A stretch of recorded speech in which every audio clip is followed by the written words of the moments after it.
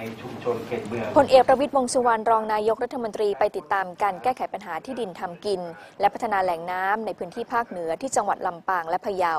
โดยพลเอกประวิตรพอใจกับการแก้ไขปัญหาที่ดินทำกินที่มีความคืบหน้า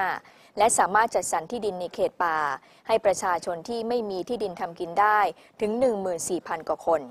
ร้อมกันนี้ได้ขอให้ส่วนราชการที่เกี่ยวข้อง แก้ไขปัญหาการตัดไม้ทำลายป่า และฟื้นฟูพื้นที่บุกรุกเดิม ควบคู่ไปกับการส่งเสริมอาชีพให้กับประชาชน ที่ได้รับการจัดสรรที่ดินทำกิน ให้เข้าถึงแหล่งทุน และย้ำให้เตรียมพร้อมการแก้ไขปัญหาหมอกควัน ไฟป่าในฤดูแล้ง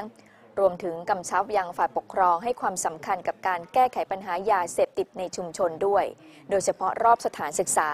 และหมู่บ้านต่างๆ ทั้งนี้ขอให้ตำรวจลงพื้นที่กระจายการทำงานร่วมกับฝ่ายปกครอง และประเมินผลจากชุมชนเป็นระยะพลเอกประวิทย์ยังได้มอบหนังสืออนุญาต หรือที่อยู่อาศัยในเขตป่าสงวนแห่งชาติ และทำประโยชน์ในพื้นที่ป่าแม่โป่ง จังหวัดลำปาง กว่า 1,200 ไร่ ก่อนที่จะเดินทางต่อไปยังจังหวัดพะเยาเพื่อติดตามการบริหารจัดการน้ำที่กว้านพะเยาค่ะ